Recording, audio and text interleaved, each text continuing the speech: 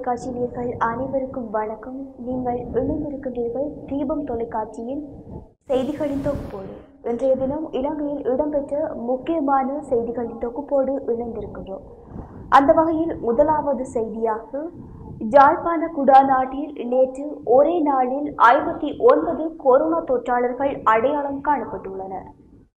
ஜாழ்ப்பாணம் போதனா மருத்துவமனை மற்றும் ஜாழ் பல்கலைக்கழக மருத்துவபீட ஆய்வுக்கூடங்களில் நேற்று முன்னெடுக்கப்பட்ட பிசிஆர் பரிசோதனைகளின் போது அறுபத்தி ரெண்டு பேருக்கு கொரோனா தொற்று உறுதி செய்யப்பட்டுள்ளது. தொற்று உறுதிப்படுத்தப்பட்டவர்களில் ஐம்பத்தி ஒரு பேர் ஜாழ்ப்பாண சிறைச்சாலையில் தடுத்து வைக்கப்பட்டுள்ள கைதிகள் என்று வடமாகாண சுகாதார சேவைகள் பணிப்பாளர் மருத்துவர் கேதீஸ்வரன் தெரிவித்துள்ளார். நேற்று முன்தினம் ஆறு கைதிகளுக்கு கொரோனா தொற்று உறுதிப்படுத்தப்பட்டதை அடுத்து சிறைச்சாலையில் உள்ள நூற்றி ஐம்பது பேருக்கு நேற்று பிசிஆர் சோதனை மேற்கொள்ளப்பட்டது. இதன்போதே ஐம்பத்தொரு நோயாளிகளுக்கு தொற்று இருப்பது அடையாளம் காணப்பட்டுள்ளது. மேலும் சண்டிலிப்பாய் சுகாதார மருத்துவ அதிகாரி பிரிவில் ஆசிரியை ஒருவருக்கு தொற்று கண்டறியப்பட்டுள்ளது. குறித்த ஆசிரியையின் கணவன் கொழும்பில் ஆய்வுக்கூட தொழில்நுட்பவியலாளராக பணியாற்றிவிட்டு வந்திருந்த நிலையிலேயே தொற்று இனம் காணப்பட்டுள்ளது. மேலும் ஜாழ்ப்பாண போதுனா மருத்துவமனையில் பணியாற்றும் தாதி ஒருவருக்கும் ஜாழ் போதுனா மருத்துவமனை தனிமைப்படுத்தல் விடுதியில் சேர்க்கப்பட்ட மூன்று நோயாளிகளுக்கும் தொற்று உறுதிப்படுத்தப்பட்டுள்ளது. சாவகச்சேரி மருத்துவமனையில் சேர்க்கப்பட்ட கொடிகாமம் தெற்கு கச்சாய் வீதியைச் சேர்ந்த பெண்ணொருவருக்கும் சங்காணி சுகாதார மருத்துவ அதிகாரி பிரிவில் எண்பத்தி ஒரு வயதுடைய பெண்ணொருவருக்கும் அவரது பேரனுக்கும் நேற்று தொற்று இனம் காணப்பட்டுள்ளது. அதேவேளை மன்னார் மருத்துவமனையில் சேர்க்கப்பட்ட ஒருவருக்கும் வவுனியா மருத்துவமனையில் சேர்க்கப்பட்ட இருவருக்கும் நேற்று தொற்று உறுதிப்படுத்தப்பட்டுள்ளது. தமிழ் மக்களின் நலனுக்காக மேற்கொள்ளப்படும் ஒற்றுமை முயற்சிகளுக்கு ஒத்துழைத்து செயற்படுவது என்று இலங்கை தமிழரசு கட்சியின் மத்திய குழு கூட்டத்தில் தீர்மானிக்கப்பட்டுள்ளது. இலங்கை தமிழரசு கட்சியின் மத்திய செயற்குழு கூட்டம் நேற்று வவுனியாவில் இடம்பெற்றது. இந்த கூட்டத்தில் எடுக்கப்பட்ட முடிவுகள் தொடர்பாக நாடாளுமன்ற உறுப்பினர் எம். ஏ. சுமந்திரன் ஊடகங்களுக்கு தகவல் வெளியிட்டார். ஒற்றுமையான முன்னெடுப்பு என்பது அரசியல் கூட்டோ அல்லது தேர்தல் கூட்டோ அல்ல. அந்த கூட்டிற்கு ஒரு பெயர் சூட்டக்கூடாது என்றும் தீர்மானிக்கப்பட்டுள்ளது. தமிழர்களுக்கு எதிரான விடயங்களில் அனைத்து தரப்புகளும் ஒன்று சேர வேண்டிய தேவை இருக்கிறது. தமிழ் மக்கள் மத்தியில் இது தொடர்பான எதிர்பார்ப்புகளும் இருக்கிறது. எனவே அரசியல் தலைமைத்துவம் கொடுக்க வேண்டியது எங்களது பொறுப்பு. அந்த பொறுப்பை நிறைவேற்றுவதை அரசியலுக்காக செய்கிறோம் என்று சொன்னால் அதை ஏற்க முடியாது. அத்துடன் ஜெனீவாவில் இலங்கை தொடர்பான தீர்மானம் நிறைவேற்றப்படுவது குறித்தும் பேசினோம். மனித உரிமை பேரவை தனக்கு உரிய அதிகார வரம்புகளை பயன்படுத்தி தமது வார்த்தை பிரயோகங்களின் ஊடாக சில முக்கியமான விடயங்களை புதிய வரைவுக்குள்ளே உள்ளடக்கி இருக்கிறார்கள். இலங்கை தொடர்பான விடயம் சர்வதேச மேற்பார்வையின் கீழே தொடர்ச்சியாக இருக்க வேண்டும். அந்த தீர்மானம் நிறைவேற்றப்படுவதற்கான செயற்பாடுகளை இணை அனுசரணை நாடுகளுடன் சேர்ந்து எடுத்திருக்கிறோம். தமிழர்களுக்கு எதிரான போக்கில் உள்ள தற்போதைய அரசாங்கத்தால் முன்னெடுக்கப்படும் திட்டங்கள் நமது மக்களின் வாழ்க்கையை பாதிக்கிறது இருப்பை பாதிக்கின்றது. தொல்லியல் திணைக்களம் வனவள திணைக்களம் ஆகியன முன்னெடுக்கும் விடயங்களை எவ்வாறு எதிர்கொள்ளலாம் என்பது குறித்து கலந்துரையாடியிருந்தோம். அத்துடன் உள்ளூராட்சி மன்றங்களில் ஏற்பட்ட பிணக்குகள் தொடர்பாகவும் வரவு செலவு திட்டங்களுக்கு எதிராக வாக்களித்த கட்சி உறுப்பினர்களுக்கு ஒழுக்காற்று நடவடிக்கை எடுப்பது குறித்தும் பேசியிருக்கிறோம். கட்சி பலப்படுத்தப்பட வேண்டிய தேவை இருக்கிறது. அதனை ஆராய்ந்து நடவடிக்கைகளை எடுப்போம் என்றும் அவர் மேலும் தெரிவித்துள்ளார். முல்லைத்தீவு தண்ணிமுறிப்பு கிராமத்தில் தனது காணியை எல்லையிட்டுக்கு துப்பரவு செய்து கொண்டிருந்த முதியவர் ஒருவரை பௌத்த பிக்கு தலைமையிலான தொல்லியல் திணைக்கள குழுவினர் அச்சுறுத்தி அங்கிருந்து வெளியேற்றியுள்ளனர். குமுளமுனை தண்ணிமுறிப்பு குள வீதிக்கு அருகாமையில் தமக்கு சொந்தமான விவசாய நிலத்தை பேரானந்தம் என்ற விவசாயி துப்புரவு செய்து புல்டோசர் இயந்திரம் மூலம் சமப்படுத்தும் வேலைகளை நேற்று முன்னெடுத்திருந்தார். அந்த இடத்திற்கு சென்ற பௌத்த பிக்கு ஒருவர் தலைமையிலான தொல்லியல் திணைக்கள அதிகாரிகள் குழு குறித்த இடங்கள் அனைத்தும் குருந்தூர் மலைக்கு சொந்தமான தொல்லியல் பிரதேசம் என்றும் ஐநூறு ஏக்கர் பிரதான பூமியில் எந்த வேலைகளிலும் ஈடுபட முடியாது என்றும் தெரிவித்துள்ளனர். முல்லைத்தீவு போலீஸ் நிலைய அதிகாரிகள் மற்றும் வனவள திணைக்களத்தினரை அழைத்து காணி உரிமையாளரிடம் விசாரணை மேற்கொண்ட அவர் அவர்கள் காணியை துப்புரவு செய்யவும் தடை விதித்துள்ளனர். இதனால் குறித்த பிரதேசத்தில் உள்ள தமிழ் மக்கள் அச்சமடைந்துள்ளனர். இலங்கையை சர்வதேச குற்றவியல் நீதிமன்றம் நிறுத்த வேண்டும் என்பது உள்ளிட்ட மூன்று கோரிக்கைகளை முன்வைத்து பிரித்தானியாவில் தமிழ் பெண் ஒருவர் சாகும் வரையான உண்ணாவிரத போராட்டத்தை ஆரம்பித்துள்ளார். அம்பிகை செல்வகுமார் என்ற இலங்கை தமிழ் பெண் நேற்று முதல் உண்ணாவிரத போராட்டத்தை மேற்கொண்டுள்ளார். தியாக தீபம் திலீபனின் படத்திற்கு மலரஞ்சலி செலுத்தி கோரிக்கைகள் அடங்கிய பதாதைகளை காட்சிப்படுத்தியவாறு அவர் தனது போராட்டத்தை தொடங்கியுள்ளார்.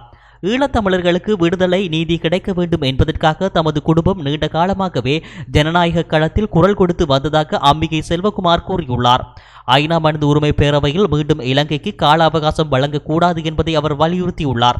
அத்துடன் தமிழர் தாயகத்தில் தமிழ் மக்கள் மீதான இன அழிப்பை இலங்கை அரசாங்கம் தொடர்வதற்கு அங்கீகாரம் வழங்கும் வகையில் மனித உரிமைகள் பேரவையில் பிரித்தானியா தலைமையிலான இணை அனுசரணை நாடுகள் இணைந்து தீர்மானத்தை முன்வைக்கவுள்ள செய்தி மனவேதனையையும் ஏமாற்றத்தையும் ஏற்படுத்தி உள்ளதாகவும் அவர் குறிப்பிட்டுள்ளார். எனவே தாய் நிலத்தில் நீதிக்காக ஏங்கி தவிக்கும் தமிழ் மக்களுக்கு நீதி கிடைக்க வேண்டும் என்பதை வலியுறுத்தித்தான் சாகும் வரையிலான உணவு தவிர்ப்பு போராட்டத்தை முன்னெடுப்பதாகவும் அம்பிகை செல்வகுமார் தெரிவித்துள்ளார். கிழக்கு மாகாண சபை தேர்தலின் போது தமிழ் தேசிய கூட்டமைப்பின் முதலமைச்சர் வேட்பாளராக சாணக்கியனை களமிறக்க வேண்டும் என்று நாடாளுமன்ற உறுப்பினர் ஸ்ரீதரன் யோசனை முன்வைத்துள்ளார். வவுனியாவில் நேற்று இடம்பெற்ற இலங்கை தமிழரசுக் கட்சியின் மத்திய செயற்குழு கூட்டத்திலேயே அவர் இந்த யோசனையை தெரிவித்துள்ளார். வடக்கு மாகாண சபை தேர்தலில் முதலமைச்சர் வேட்பாளராக மாவை சேனாதிராசா களமிறக்கப்பட வேண்டுமென்றும் அவர் தலைமையிலான இளைஞர்கள் களமிறக்க வேண்டுமென்றும் ஸ்ரீதரன் யோசனை கூறியுள்ளார். கிழக்கு மாகாண சபை தேர்தலில் சாணக்கியனை முதலமைச்சர் வேட்பாளராக களமிறக்க வேண்டுமெனவும் முஸ்லிம் மக்கள் அவரை ஆதரிப்பார்கள் என்பதால் அவரை களமிறக்கி வெற்றியடையலாம் எனவும் ஸ்ரீதரன் தெரிவித்துள்ளார். இலங்கை தமிழரசு கட்சியின் மத்திய செயற்குழு கூட்டத்தில் பங்கேற்றிருந்த உறுப்பினர்கள் இந்த யோசனைக்கு எதிர்ப்பு எதையும் வெளியிடவில்லை என்றும் தகவல்கள் தெரிவிக்கின்றன. எனினும் இதுகுறித்து சாணக்கியன் கருத்துக்கள் எதனையும் வெளியிடவில்லை எனவும் கூறப்படுகிறது. இந்திய விமானப்படையின் தேஜஸ் கிரண் போர் விமானங்கள் மற்றும் த்ரூ ஹெலிகாப்டர்களை கொண்டு அணி ஒன்று நேற்று கொழும்பு வந்துள்ளதாக தகவல்கள் கூறுகின்றன. இலங்கை விமானப்படையின் எழுபதாவது ஆண்டு நிறைவை முன்னிட்டு நடைபெறும் நிகழ்வுகளில் பங்கேற்கவே இந்திய விமானப்படை விமானங்கள் கொழும்பு வந்துள்ளன. மார்ச் மூன்றாம் திகதியிலிருந்து ஐந்தாம் திகதி வரை கொழும்பு காலிமுக திடலில் வான் சாகச நிகழ்வுகள் இடம்பெறவுள்ளது. இந்த வான் சாகச நிகழ்வில் பங்கேற்க இந்திய விமானப்படையின் சூரிய கிரண் விமான காட்சி அணியும் சாரங் எனப்படும் ஹெலிகாப்டர்களின் காட்சி அணியும் தேஜஸ் போர் விமான அணியும் நேற்று கொழும்பை வந்தடைந்துள்ளன. விமானப்படை தளபதி ஏஆர் மார்ஷல் சுதர்சன பத்ரனவின் அழைப்பின் பேரிலேயே இந்திய விமானப்படை விமானங்கள் இலங்கைக்கு வந்துள்ளன. முன்னதாக இரண்டாயிரத்தி ஓராம் ஆண்டில் இலங்கை விமானப்படையின் பொன்விழா நிகழ்வுகளில் பங்கேற்க இந்திய விமானப்படையின் சூரிய கிரண் காட்சி விமான அணி இலங்கைக்கு வந்திருந்தது. சூரிய கிரண் அணியில் கிரண் மார்க் இரண்டு ரகத்தைச் சேர்ந்த ஒன்பது விமானங்களும் சாரங் ஹெலிகாப்டர்களின் அணியில் துருவ் வகையைச் சேர்ந்த நான்கு ஹெலிகாப்டர்களும் இடம்பெற்றுள்ளன. அத்துடன் இந்தியாவில் தயாரிக்கப்பட்ட அதிநவீன தேஜஸ் போர் விமானங்களும் இந்த காட்சி நிகழ்வில் பங்கேற்க கொழும்பு வந்துள்ளதாக இந்திய விமானப்படை தெரிவித்துள்ளது. எத்தனை விமானங்களை கொண்ட அணி இலங்கைக்கு பயணம் மேற்கொண்டுள்ளது என்ற தகவலை இந்திய விமானப்படை வெளியிடவில்லை. எனினும் இலங்கை விமானப்படை இதுகுறித்து எந்த தகவலையும் வெளியிடவில்லை என்பது குறிப்பிடத்தக்கது. கனிம மணல் அகழ்வை மேற்கொள்வதற்கு அனுமதி அளிப்பது தொடர்பாக சீன நிறுவனம் ஒன்றுடன் இலங்கை அரசாங்கம் பேச்சுக்களை நடத்தி வருவதாக தகவல்கள் தெரிவிக்கின்றன. முன்னூற்றி பத்து மில்லியன் டாலர் பெறுமதியான இந்த கனிம மணல் திட்ட உடன்பாடு குறித்து சீனாவின் மெட்டலுர்ஜிக்கல் சர்வதேச குழும நிறுவனத்துடன் பீஜிங்கில் உள்ள இலங்கை தூதரகம் பேச்சுகளை நடத்தியுள்ளது. இந்த திட்டம் தொடர்பாக குறித்த சீன நிறுவனத்தின் முகாமைத்துவ பணிப்பாளர் வாங்ஜூவுக்கும் சீனாவுக்கும் இலங்கை தூதுவர் பாலித ஹோகனவுக்கும் இடையில் நேற்று முன்தினம் பேச்சுகள் நடத்தப்பட்டுள்ளன. இந்த கனிய மணல் திட்டம் முன்னூற்றி பத்து மில்லியன் டாலர் பெறுமதியானதாக இருக்கக்கூடும் என்றும் தெரிவித்துள்ள சீனாவில் உள்ள இலங்கை தூதரகம் மேலதிக விவரங்கள் எதையும் வெளியிடவில்லை. அதே அதேவேளை திருகோணமலை புல்மோட்டை பகுதியில் கனிம வள அகழ்வு இலங்கை அரசாங்க நிறுவனத்தினால் முன்னெடுக்கப்பட்டு வருகிறது. இந்த திட்டத்தையே சீன நிறுவனத்திற்கு வழங்க அரசாங்கம் திட்டமிட்டுள்ளதா என்ற சந்தேகம் எழுந்துள்ளது. போதைப்பொருள் கடத்தலில் இலங்கை ராணுவத்தைச் சேர்ந்த வேறு பலருக்கு தொடர்பு இருப்பதாக போலீஸ் போதைப்பொருள் ஒழிப்பு பிரிவு தெரிவித்துள்ளது. இராணுவ வாகனம் ஒன்றில் கொழும்புக்கு கடத்தி வரப்பட்ட நாற்பத்தி மூன்று கிலோ ஹெரோயின் போதைப்பொருள் பாணாந்துறையில் வைத்து போதைப்பொருள் ஒழிப்பு பிரிவினரால் கைப்பற்றப்பட்டது. இந்த சம்பவத்துடன் தொடர்புடைய லார்ட்ஸ் கோப்ரல் தர இராணுவ அதிகாரி ஒருவர் கைது செய்யப்பட்டுள்ளார். தென்பகுதி கடற்பகுதி வழியாக இந்த போதைப்பொருள் நாட்டுக்குள் கொண்டு வரப்பட்டிருக்கலாம் என்று இவரிடம் நடத்தப்பட்டுள்ள விசாரணைகளில் தெரிய வந்துள்ளது இதையடுத்து தங்காலையில் இரண்டு பேர் கைது செய்யப்பட்டுள்ளனர். மேலும் சில இராணுவ அதிகாரிகளுக்கும் இந்த கடத்தலில் தொடர்பு உள்ளதாகவும் கோப்ரதர இராணுவ அதிகாரியை கைது செய்ய உள்ளதாகவும் போலீஸ் போதைப்பொருள் ஒழிப்பு அதிகாரிகள் தெரிவித்துள்ளனர். ஹட்டன் கல்வி வலயத்திற்கு உட்பட்ட பொகவந்தலாபு பகுதியில் உள்ள வித்தியாலயம் ஒன்றின் அதிபர் ஒருவர் மீது கும்பல் ஒன்று பலத்த தாக்குதல் ஒன்றை மேற்கொண்டுள்ளதால் தாக்குதலுக்கு உள்ளான வித்தியாலயத்தின் அதிபர் பொகவந்தலாபு வைத்தியசாலையில் அனுமதிக்கப்பட்டுள்ளதாக போலீசார் தெரிவித்துள்ளனர். நேற்று இரவு எட்டு முப்பது மணியளவில் இந்த சம்பவம் இடம்பெற்றதாக போலீசார் மேலும் தெரிவித்துள்ளனர். பொகவந்தலாவு மோரா தோட்ட பகுதிக்கு சென்று இம்முறை கல்வி பொது தராதர சாதாரண தர பரீட்சைக்கு தோற்றவுள்ள மாணவர்களை சந்தித்து வீட்டுக்கு சென்ற வேளையில் மோரா தோட்ட பகுதியில் வைத்து நான்கு பேர் கொண்ட குழுவினரால் குறித்து அதிபர் தாக்கப்பட்டதில் இரண்டு கால்கள் மற்றும் தலைப்பகுதியில் காயங்களுக்கு உள்ளாகிய நிலையில் குறித்த அதிபர் வைத்தியசாலையில் அனுமதிக்கப்பட்டுள்ளதாக போலீசாரின் ஆரம்பகட்ட விசாரணைகளில் தெரியவந்துள்ளது. குறித்த சம்பவம் தொடர்பில் பொகவந்தலாவ போலீஸ் நிலையத்தில் முறைப்பாடு பதிவு செய்யப்பட்டுள்ளதோடு தாக்குதல் நடத்திய கும்பலை கைது செய்யும் நடவடிக்கையில் பொகவந்தலாவ போலீசார் ஈடுபட்டுள்ளனர்.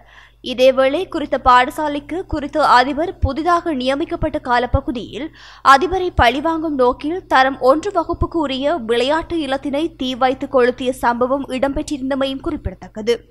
அதிபர் தாக்கப்பட்ட சம்பவம் தொடர்பில் தாக்குதலுக்கு உள்ளான அதிபர் தொடர்ந்தும் வைத்தியசாலையில் சிகிச்சை பெற்று வருவதோடு சம்பவம் தொடர்பில் மேலதிக விசாரணைகளை பொகவந்தலாவு போலீசார் மேற்கொண்டு வருகின்றமை குறிப்பிடத்தக்கது. கல்வி பொதுத்தராதர சாதாரண தர பரீட்சைகளுக்காக விசேட போக்குவரத்து சேவை தீர்மானிக்கப்பட்டுள்ளது. நாளை முதல் ஆரம்பிக்கப்பட உள்ள கல்வி பொதுத்தராதர சாதாரண தர பரீட்சைக்கு தோற்றவுள்ள மாணவர்களுக்கான விசேட போக்குவரத்து சேவைகள் முன்னெடுக்கப்பட உள்ளதாக தெரிவிக்கப்பட்டுள்ளது. அத்துடன் பரீட்சார்த்திகளுக்கு மேலதிகமாக போக்குவரத்து சேவை தேவைப்படுமாயின் பாடசாலை அதிபர் ஊடாக இலங்கை போக்குவரத்து சபையிடம் கோருமாறு இலங்கை போக்குவரத்து சபையின் தலைவர் கிங்ஸ்லி ரணவக்க தெரிவித்துள்ளார். உடுக்கம நீதவான் நீதிமன்றம் முன் குடிபோதையில் முறைகேடாக செயற்பட்டு பதினைந்து இளைஞர்கள் காவல்துறையினரால் கைது செய்யப்பட்டுள்ளனர். இந்த பகுதியில் உள்ள ஆற்றில் நீராட வந்த இவர்கள் குடிபோதையில் நீதவான் நீதிமன்றம் முன்னிலையில் இவ்வாறு செயற்பட்டதாக கூறப்பட்டுள்ளது. சந்தேக நபர்கள் ஹக்மீமான பகுதியைச் சேர்ந்தவர்கள் என கூறப்படுகின்றது. கடந்த இருபத்தி நான்கு மணத்தியாலங்களில் நாட்டுக்குள் வந்த முப்பத்தி எட்டு விமானங்கள் மூலம் இரண்டாயிரத்து நானூற்றி இருபத்தி ஒன்பது இலங்கையர்கள் நாடு திரும்பியுள்ளதாக தெரிவிக்கப்பட்டுள்ளது. இவர்களில் நூற்றி முப்பத்தி மூன்று பேர் ஐக்கிய அரபு ராஜ்யத்தில் இருந்து நாடு திரும்பியதாகவும் குறிப்பிடப்பட்டுள்ளது. அதேபோல் துபாயில் இருந்து எண்பத்தி ஓரு பேர் நாட்டுக்குள் வந்ததாகவும் கூறப்படுகின்றது. கடந்த இருபத்தி நான்கு மடத்தியாலங்களில் ஐநூற்றி எழுபத்தி நான்கு பேர் நாட்டிலிருந்து வெளியேறி வெளிநாடுகளுக்கு சென்றுள்ளதாக தெரிவிக்கப்படுகின்றது. திருடப்படும் உந்துருளிகளை கொள்வனவு செய்து பாகம் பிரித்து விற்பனை செய்யும் நிலையம் ஒன்று கல்நேவ நேகமு பகுதியில் கண்டறியப்பட்டுள்ளது. குறித்த இடத்திலிருந்து உந்துருளிகள் பதிவு செய்யப்பட்டிருந்த இருபத்தி மூன்று இலக்க தகடுகள் இயந்திரங்கள் உள்ளிட்ட உதிரி பாகங்கள் கைப்பற்றப்பட்டுள்ளதாக காவல்துறை ஊடக பேச்சாளர் பிரதி காவல்துறை மா அதிபர் அஜித் ரோஹன தெரிவித்துள்ளார். சம்பவம் தொடர்பில் சந்தேக நபர் ஒருவர் கைது செய்யப்பட்டுள்ளதுடன் மேலதிக விசாரணைகளை காவல்துறையினர் முன்னெடுத்துள்ளனர்.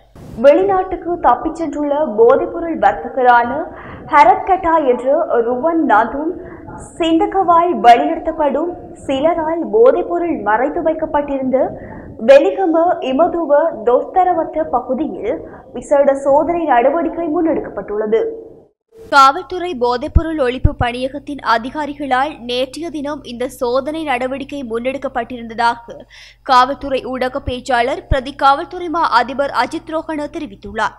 கடந்த இருபத்தி ஐந்தாம் திகதி இருபத்தி ஐந்து கிலோகிராம் ஹெரோயின் போதைப்பொருளுடன் கைதான இருவரிடம் மேற்கொள்ளப்பட்டிருந்த விசாரணைகளுக்கு அமைய இந்த சோதனை நடவடிக்கை இடம்பெற்றுள்ளதாக அவர் குறிப்பிட்டுள்ளார். இதன்படி தொஸ்தரவத்து பகுதியில் முன்னெடுக்கப்பட்டிருந்த சோதனை நடவடிக்கையின் போது புதைத்து வைக்கப்பட்டிருந்த சில பீப்பாய் மீட்கப்பட்டுள்ளதுடன் அவற்றில் போதைப் பொருட்கள் மறைத்து வைக்கப்பட்டுள்ளமை குறித்த தகவல் கிடைத்துள்ளதாகவும் ஊடக பேச்சாளர் தெரிவித்துள்ளார். தேர்தலின் பின்னர் சுதந்திர கட்சியை பிளவுபடுத்தும் செயற்பாடுகள் இடம்பெறுகின்றது. தேர்தல் முடிவடைந்ததன் பின்னர் கட்சியை பிளவுபடுத்தும் செயற்பாடுகள் அதிகமாக இடம்பெற்று வருவதாக ஸ்ரீலங்கா சுதந்திர கட்சியின் உபத்தலைவர் பேராசிரியர் ரோஹன லக்ஷ்மண் பியதாஸ் தெரிவித்துள்ளார். கண்டியில் நேற்று இடம்பெற்ற செய்தியாளர்கள் சந்திப்பொன்றில் கலந்து கொண்டு பேசும்போது அவர் இதனை குறிப்பிட்டுள்ளார். நாட்டின் சில பகுதிகளில் கடந்த நாட்களில் பதிவான நில அதிர்வுகள் குறித்து சர்வதேச புவியியலாளர் சார் நிபுணர்களுடன் ஆய்வுகள் ஆரம்பிக்கப்பட்டுள்ளன. புவிச்சரிதவியல் அளவை சுரங்க பணியகம் இதனை தெரிவித்துள்ளது. ஆஸ்திரேலியா மற்றும் கனடாவில் உள்ள நிபுணர்களுடன் தொலைக்காணொலி ஊடாக இது தொடர்பான கலந்துரையாடல்கள் இடம்பெற்று வருவதாக தெரிவிக்கப்படுகின்றது.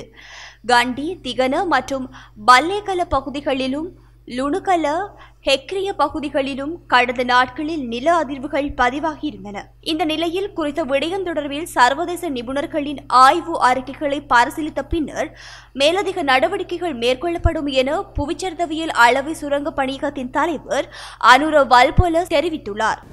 தோஷத்தை நீக்குவதாக கூறி பிரம்பால் தாக்கப்பட்டு சிறுமி ஒருவர் உயிரிழந்த சம்பவம் ஒன்று மீகவத்த டொல்கொட கந்துகொட பகுதியில் பதிவாகியுள்ளது. அதே பகுதியைச் சேர்ந்த ஒன்பது வயதான சிறுமி ஒருவரே இவ்வாறு உயிரிழந்துள்ளதாக காவல்துறை தெரிவித்துள்ளது. குறித்த சிறுமியை அவரது பெற்றோர் பெண் பூசகர் ஒருவரிடம் அழைத்துச் சென்றுள்ளனர். இதன்போது சிறுமிக்கு தோஷம் இருப்பதாக கூறி பெண் பூசகர் அவரை பிரம்பால் தாக்கியுள்ளதாக தகவல் வெளியாகியுள்ளது. இதன்போது சிறுமி மயக்கமடைந்த நிலையில் வியக்கம வைத்தியசாலையில் அனுமதிக்கப்பட்டிருந்தார். எனினும் அவர் ஏற்கனவே உயிரிழந்து காணப்பட்டதாக வைத்தியசாலை தகவல்கள் தெரிவிக்கின்றன. சம்பவம் தொடர்பில் குறித்த பெண் பூசகர் காவல்துறையால் கைது செய்யப்பட்டுள்ளார். இதுபோன்று முறைசாரா சிகிச்சையின் விளைவாக கடந்த காலங்களில் குழந்தைகள் முதல் முதியோர் வரை உயிரிழந்துள்ளதாக காவல்துறையினர் சுட்டிக்காட்டியுள்ளனர். எனவே பொதுமக்கள் இது தொடர்பில் அவதானமாக செயற்பட வேண்டும் என காவல்துறையினர் தெரிவித்துள்ளனர். அமெரிக்காவின் களஞ்சிய சாலையாக மாற்ற நினைத்த நாட்டை ஏற்றுமதி விவசாய வலயமாக மாற்றியமைக்க தீர்மானித்துள்ளோம் என பிரதமர் மஹிந்த ராஜபக்ஷ தெரிவித்துள்ளார். ஹம்பாந்தோட்டை பிரதேசத்தில் இன்று இடம்பெற்ற நிகழ்வில் கலந்து கொண்டு கருத்து தெரிவிக்கும் போதே அவர் மேற்கண்டவாறு குறிப்பிட்டுள்ளார். அங்கு அவர் தனது உரையில் மேலும் குறிப்பிடுகையில் விவசாயம் மற்றும் சிறு ஏற்றுமதி உற்பத்திகளுக்கு முன்னுரிமை வழங்கி புதிதாக ராஜாங்க அமைச்சுக்கள் உருவாக்கப்பட்டன. நாம் ஆட்சிக்கு வரும் அனைத்து சந்தர்ப்பத்திலும் தேசிய உற்பத்திகளுக்கு முன்னுரிமை வழங்கினோம். அதற்கமைவே சுபீட்சமான இலக்கு கொள்கை திட்டத்தில் தேசிய உற்பத்திகளுக்கு முன்னுரிமை வழங்கப்பட்டுள்ளது. மகிந்த சிந்தனையை அடிப்படையாக கொண்டு சுபீட்சமான இலக்கு கொள்கை திட்டத்தை முன்வைத்துள்ளோம். தேசிய தேசிய உற்பத்திகளை மேம்படுத்தி சர்வதேச சந்தையில் தனித்துவமான போட்டித்தன்மை மிக்க பொருளாதார சூழலை ஏற்படுத்துவது சுபீட்சமான இலக்கு கொள்கையின் எதிர்பார்ப்பாகும். எமது நாட்டின் கருவா உள்ளிட்ட பொருட்களுக்கு உலக சந்தையில் அதிக கேள்வி காணப்படுகின்றது. தேசிய உற்பத்திகளை மேம்படுத்தவும் எமது நாட்டுக்கே உரித்தான உற்பத்திகளை அபிவிருத்தி செய்யவும் உரிய திட்டம் வகுக்கப்பட்டுள்ளது. அமெரிக்காவின் களஞ்சிய சாலையாக மாற்றவிருந்த நாட்டை தேசிய உற்பத்திகளின் களஞ்சிய சாலையாக மாற்றியமைக்கவுள்ளோம். ஏற்றுமதி விவசாயத்தை மேம்படுத்தும் நோக்கில் நாடு தழுவிய ரீதியில் நூறு ஏற்றுமதி விவசாய வலயங்கள் ஸ்தாபிக்கப்படும். கிராமிய பொருளாதாரத்தை மேம்படுத்தி அதனூடாக தேசிய பொருளாதாரத்தை அபிவிருத்தி செய்வது அரசாங்கத்தின் பிரதான இலக்காகும். நெருக்கடியான சூழ்நிலையில் கூட தேசிய உற்பத்திகளை பாதுகாக்கும் வகையில் அரசாங்கம் பல தீர்மானங்களை எடுத்துள்ளது. மஞ்சள் இறக்குமதிக்கு தடை செய்யப்பட்டதால் நூறு மில்லியன் நிதி சேமிக்கப்பட்டுள்ளதுடன் மஞ்சள் உற்பத்தி தேசிய மட்டத்தில் ஒப்பீட்டளவில் முன்னேற்றம் அடைந்துள்ளது ஆகவே தேசிய உற்பத்தியின் ஊடாக அரசாங்கம் பொருளாதாரத்தை முன்னேற்றும் என்றும் தெரிவித்துள்ளதாக செய்திகள் வெளியாகியுள்ளன. பொலிகண்டி பேரணியில் சர்வதேச நீதிமன்ற பொறிமுறை பற்றி எதுவுமே சொல்லப்பட்டிருக்கவில்லை என தமிழரசு கட்சியின் பேச்சாளர் எம் ஏ சுமந்திரன் தெரிவித்துள்ளார்.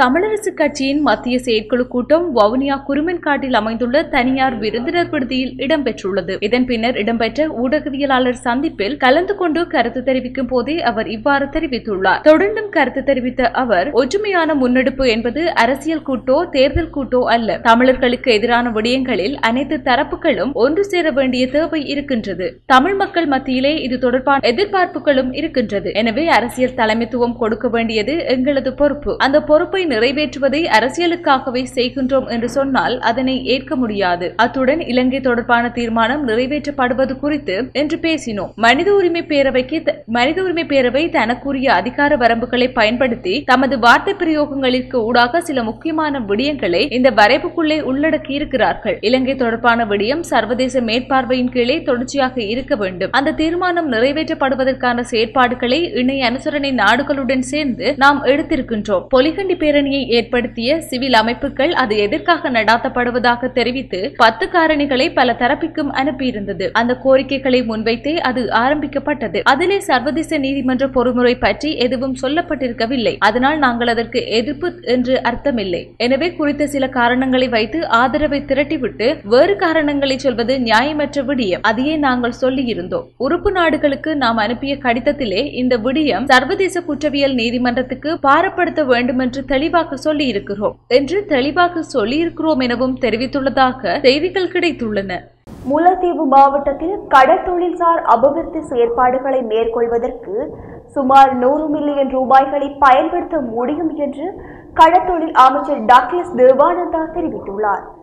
முல்லைத்தீவு மாவட்டத்திற்கான விஜயத்தை மேற்கொண்டுள்ள கடத்தொழில் அமைச்சர் மாவட்டத்தின் பல்வேறு சமூக அமைப்புகளையும் சந்தித்து மாவட்டத்தின் நிலவரங்கள் தொடர்பாக கலந்துரையாடியுள்ளார். இதன்போது கருத்து தெரிவித்த அமைச்சர் டக்ளஸ் தேவானந்தா கடத்தொழிலாளர்களுக்கு கௌரவமான வாழ்க்கை தரத்தினை ஏற்படுத்துவதற்கு நிறைவான வருமான மார்க்கங்களை அதிகரிக்க வேண்டும் என்றும் வடக்கு கிழக்கு மக்களுக்கு நிரந்தரமான தரமான பொருளாதார கட்டமைப்பை உருவாக்கும் நோக்கில் முதலீடுகளை மேற்கொள்ள முன்வருமாறும் புலம்பெயர் உறவுகளுக்கு வேண்டுகோள் விடுக்கப்பட்டுள்ள நிலையில் முல்லைத்தீவு கடத்தொழிலாளர்களின் தொழில்சார் அபிவிருத்தி செயற்பாடுகளுக்கு பயன்படுத்தக்கூடியவாறு சுமார் நூறு மில்லியன் ரூபாய் கொடையாளர்களிடமிருந்து பெற்றுக்கொள்ளக்கூடிய வாய்ப்பு ஏற்பட்டுள்ளது. எனவே முல்லைத்தீவு கடத்தொழிலாளர்கள் கடந்த காலத்தை போன்று இல்லாமல் சரியான தரப்புகளை இனங்கண்டு செயற்படுவார்களாயின் குறித்த தனியார் பங்களிப்புகளையும் அதேபோன்று அரசாங்க திட்டங்களையும் ஒருமுகப்படுத்தி முல்லைத்தீவு மாவட்டத்தில் பாரிய கடத்தொழில்சார் அபிவிருத்திகளை மேற்கொள்ள முடியும் எனவும் தெரிவித்திருப்பதாக செய்திகள் கிடைத்துள்ளன. தோட்டத்தொழில் துறையில் மூத்த பிரஜை ஒருவரின் குடும்பத்தினர் இராணுவத்தின் சேவையை பாராட்டும் வகையில்